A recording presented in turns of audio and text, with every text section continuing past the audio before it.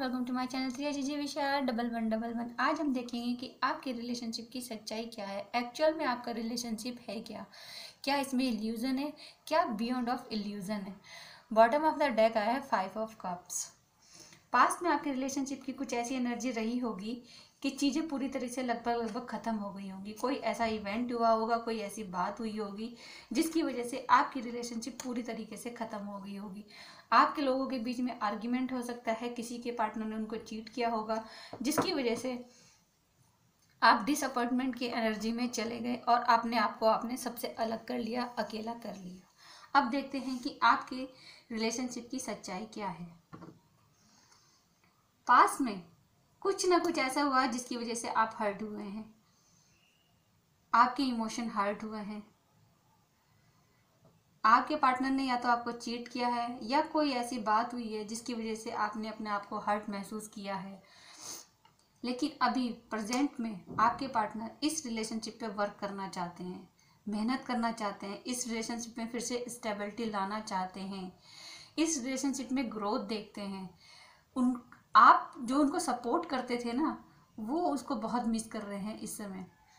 क्योंकि वो जानते हैं कि इस रिलेशनशिप में आपके होने से अबंडेंस था ग्रोथ थी, एक स्टेबिलिटी थी। इसीलिए अपनी रिलेशनशिप को फिर से वर्क करना चाहते हैं। आपके पार्टनर आपको जस्टिस देना चाहते हैं। पास्ट में उन्होंने जो भी गलतियाँ की हैं, उसको सुधारना चाहते हैं, उसको ठीक करना चाहते हैं। आपके साथ इस रिलेशनशिप में फिर से इक्वल गिव एंड टेक देना चाहते हैं। आपकी तरफ़ बढ़ना चाहते हैं आपके पार्टनर एक्शन लेना चाहते हैं आपकी तरफ़। अभी तक वो जो एक्शन नहीं ले रहे थे, आपकी तरफ़ बढ़ नहीं रहे थे, अपने इमोशन को आपसे एक्सप्रेस नहीं करना, कर रहे थे, अब आपको करना चाहते हैं। अब आपकी तरफ़ बढ़ना चाहते हैं। अब आपकी तरफ़ एक्शन लेना चाहते हैं। आपके साथ इस रिलेशनशिप में एक हारमोनी डेवलप करना चाहते हैं। कहीं ना कहीं इस सेपरेशन को ख़त्म करना चाहते हैं, आपकी तरफ़ बढ़ना चाहते हैं। और इस रिलेशनशिप को एक अच्छा रिलेशनशिप बनाना चाहते हैं। अब देखते हैं, इस रिलेशनशिप के लिए एंजल की गाइडेंस क्या है आपके लिए?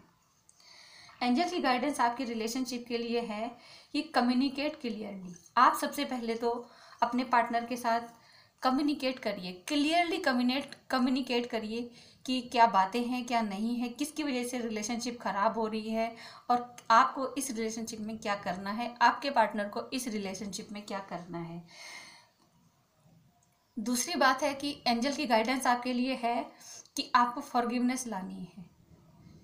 जो भी पास्ट में हुआ है, जो भी आप, जिस भी बातों ने आपको हर्ट किया है, आपको हर चीज़ को फॉरगिवनेस करना है। माफ़ कर देना है चीज़ों को, फिर से एक नई तरीके से शुरुआत करनी है। और एंजल की गाइडेंस आपके लिए है कि अगर आपको चीज़ें समझ में नहीं आ रही हैं कि आपको क्या करना है, क्या नहीं करना है, आपको इस रिलेशनशिप में क्या करना चाहिए तो आप इसके लिए किसी की हेल्प ले सकते हैं। उसके लिए आप या तो अपने असिस्टेंट एंजल आपके जो होते हैं, उनकी हेल्प लीजिए। या फिर आप अपने फ्रेंड की हेल्प ले सकते हैं। आप किसी की भी हेल्प ले सकते हैं इसके लिए। एंजल आपसे कह रहे हैं कि अगर आप इस रिलेशनशिप को ठीक करना चाहते हैं, आप चाहते हैं इस ये रिलेशनशिप फिर से स्टार्ट हो तो उसके लिए आपको फॉरगिवनेस लाइए अपनी बिहेवियर में।